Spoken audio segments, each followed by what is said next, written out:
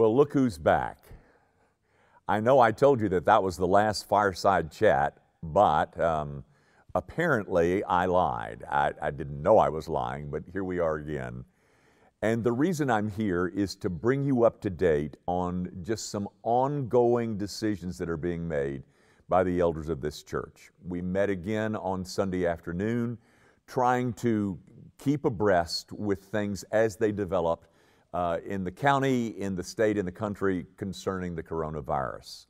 Now, so this evening, I have uh, an update of how things are going to operate this coming Sunday.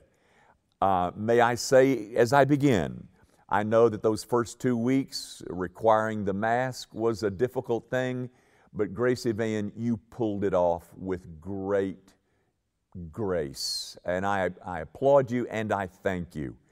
Now, this coming Sunday, things will be a bit different. Um, here we go. We do want to require masks while we're in the halls or other common areas. Guys, you remember that survey that we did? We sent you the survey and we asked about your coming back to church. Well, two thirds of you all express concerns about crowded hallways. To address your concern, what we're doing is asking everyone while in common areas that they have a mask on. However, once you're seated in the sanctuary, um, found your place, and you know, put your purse on the floor, uh, you are welcome to take your mask off. Now, with this one other provision, singing. Guys, we don't know who to believe, whether singing broadcast particles or not. Oh, it just, it's all so confusing. And I know that you've read some of the same articles that I have. But to err on the safe side, what we're going to ask you to do, if you would like to sing while we are in that portion of the worship service, put the mask back on while you sing. As soon as the song is over, you can take the mask back off. By the way, children under two need not be concerned about wearing any masks. Now, one other provision.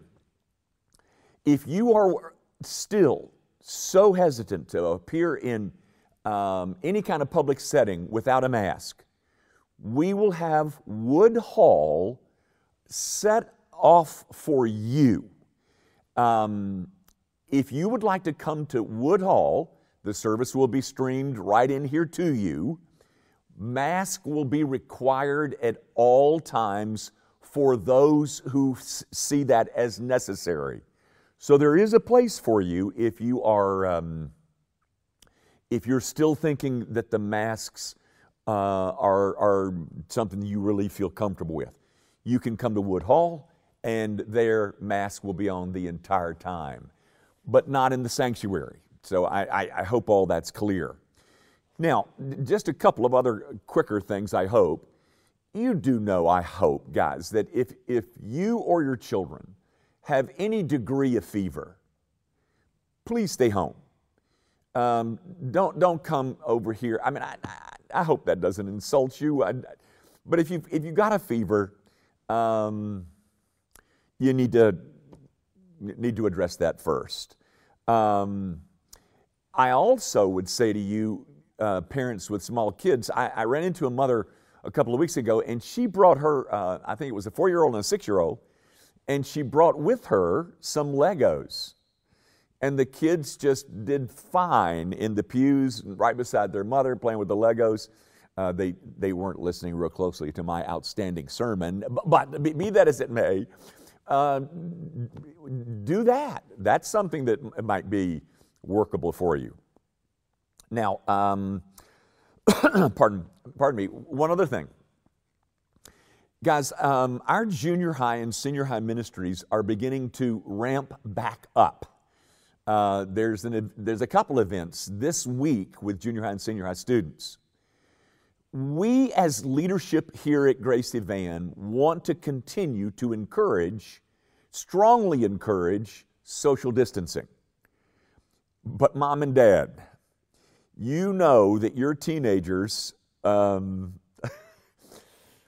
they aren't social distancing, are they?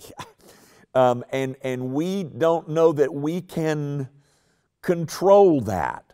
We're going to encourage it as the leadership of every event that takes place um, in, in those student ministries. But we don't know that we can properly enforce it. Uh, so, you parents are going to have to make a call.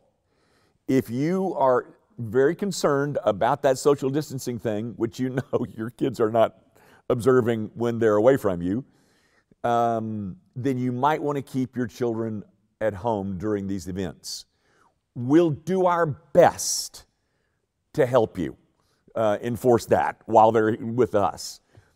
But we just don't know that we can, um, can succeed in, in, in that venture. So, um, also, I think you perhaps have heard that we will um, have Wednesday night services here in the building starting June the 10th. Now, guys, I, I think that's about everything uh, that I need to bring up. Um, if there's something that I missed and I left out and I forgot, I might just send, send out a GOL. But, but there you have it. That's the new parameters beginning this Sunday. And then a couple of weeks from there, the elders will get back together again and assess the situation that, they, that we face two weeks from now. We're trying to move slowly.